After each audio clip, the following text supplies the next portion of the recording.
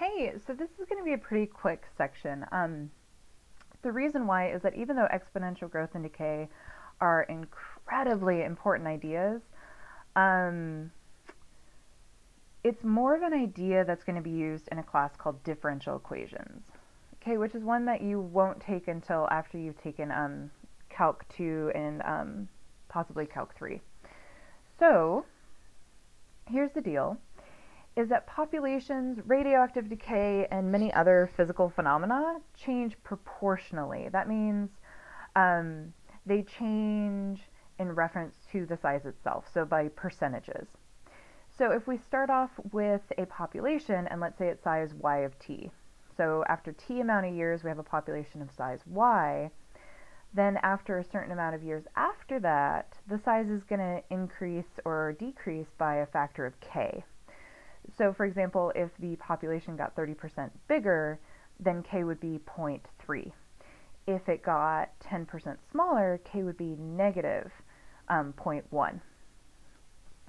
So in terms of derivative, what that means is that means that the change in our population over time is going to be a proportion of that population. Now these are actually harder to solve than you would think, and they have a very special name when you're trying to solve an equation like this, is it's called a differential equation. And the solutions to these are typically going to be exponential.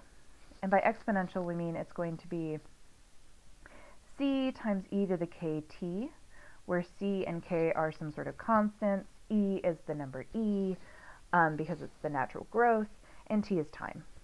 Here's why this works is that when you take the derivative of this function, okay, remember, c is a constant, so it's going to hang out in front. The derivative of e to the anything is e to the anything. And then when you take the derivative of the inside, the derivative of kt is just k. So when you take the derivative of this function, what you get is k times c e to the kt, which is just k times our original function. Now, a couple of different ways that this is used is when you're talking about mass growth or decay, and when I say mass, I don't mean like a lot, I mean the physical mass of something. So when something is during is growing or decaying continuously, like radioactive material, organic matter, the amount of material you're left with after t amount of time is going to be the amount of mass that you started with times e to the kt, where k is going to be the rate of change and t is going to be the time. Remember, if something is decaying, k would be negative. If something is growing, k would be positive. So k is less than 0 means decay. Now, if instead of giving you a um, continuous growth rate, instead if they give you a half-life, which is really, really popular, um, especially in radioactive material, then instead of using an e to be your exponential growth rate, you're going to use 2. Okay? So, here's what we're going to look at. We're going to look at an example. So say that we have 80 grams of an element and it has a half-life of 3 years.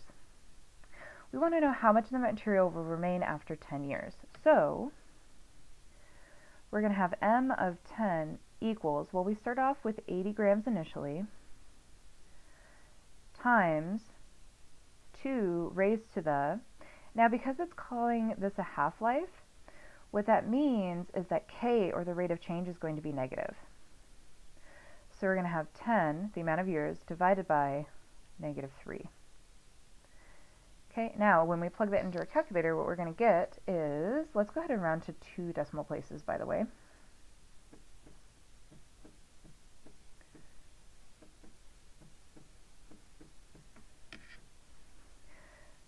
So we are only going to have 7.94 grams remaining after 10 years.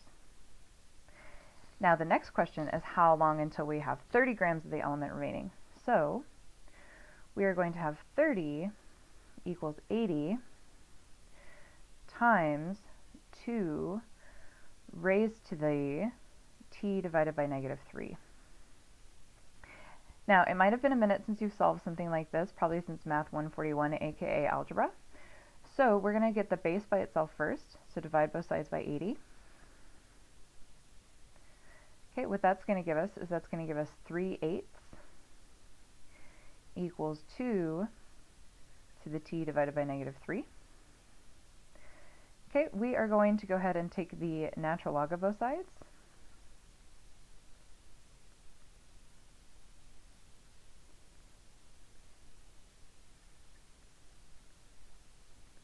Now the whole reason we took the natural log is because we want to get this exponent out in front and multiply as a constant instead.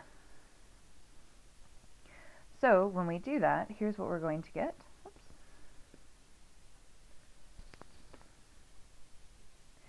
Is we're going to get t divided by negative 3 times the natural log of 2. Now to get t by itself,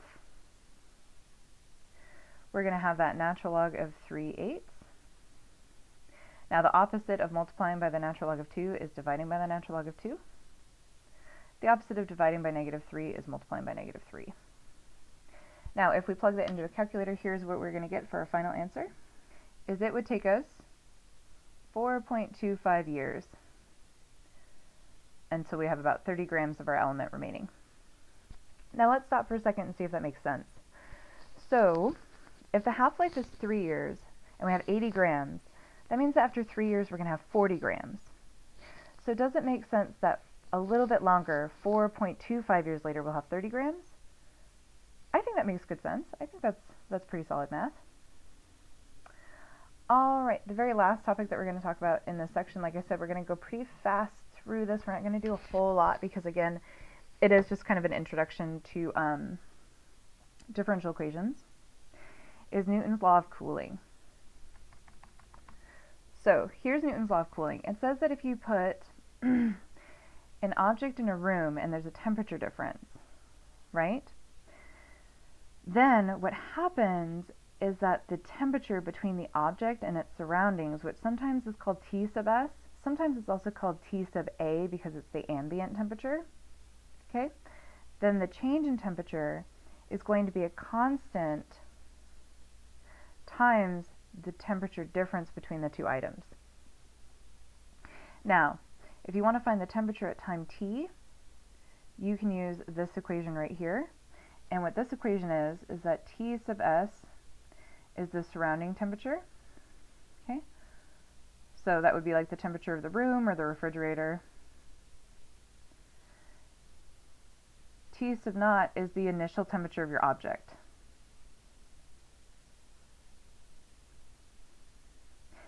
K is going to be some constant at which um, your item is going to be cooling. So depending on whether you're dealing with ceramic, metal, a liquid like soup or something, they're going to cool at different rates. So that's what K means. So let's look at this example. So say that an object is 72 degrees Fahrenheit and it's placed in a 44 degree refrigerator. After 30 minutes, the object is now 61 degrees Fahrenheit. So the first thing we want to show is that our function t of t satisfies as a solution to this derivative. So let's check and see. So what we're going to do is that we're going to take the derivative of this function.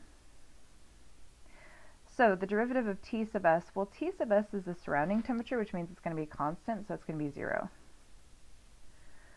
Plus T sub 0 minus T sub s. So here's the thing t sub 0 is a constant.